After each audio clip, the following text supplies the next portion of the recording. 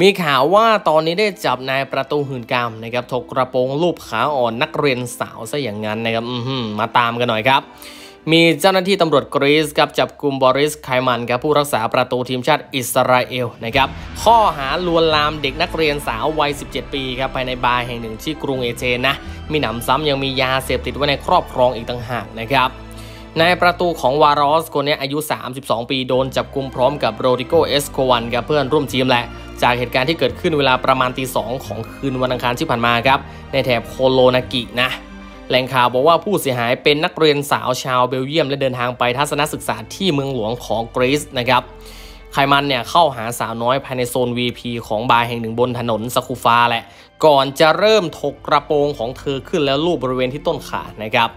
สาวน้อยไม่เล่นด้วยผลักหนุ่มหืนคนนี้ออกไป แต่ว่าก็ตามครับเธอกลับเข้าไปในโซนนี้อีกครั้งหนึ่ง เพื่อที่จะมองหาเพื่อนของเธอนะครับก่อนที่มือกาวจอมหืนคนนี้ก็เข้ามาเธออีกรอบหนึ่งครับข่าวนี้นักเรียนสาวแจ้งอายุที่แท้จริงของตัวเองไปก่อนจะเกิดความวุ่นวายขึ้นตามลำดับ ซึ่งฝ่ายชายได้ลวนลามเธอโดยไม่สนใจอะไรเลยครับเจ้าหน้าที่ตำรวจเดินทางมาจับกลุ่ม2แข้งรายนี้ครับทันทีเลย พร้อมค้นตัวพบว่าใครมาเนี่ยมียาเสพติดไว้ในครอบครองครับ ซึ่งวอลลสโมสรเนี่ย ยืนยันได้ว่ายกเลิกสัญญาของนักเตะทั้งสองคนแล้ว ต้องบอกว่านายประตูคนนี้ซึ่งติดทีมชาติมาหนึ่งครั้งครับได้ปฏิเสธทุกข้อกล่าวหา แต่ถูกกักตัวไว้สอบสวนและจะต้องขึ้นศาลในวันพฤหัสบดีนี้ ส่วนเอสโกวันถูกปล่อยตัวออกมาแล้วนะครับ